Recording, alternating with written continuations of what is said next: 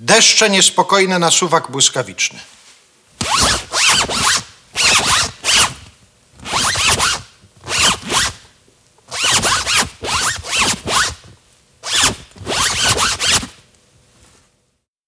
Trójka nie nadaje bzdur. Pokazuje je tylko w reklamie.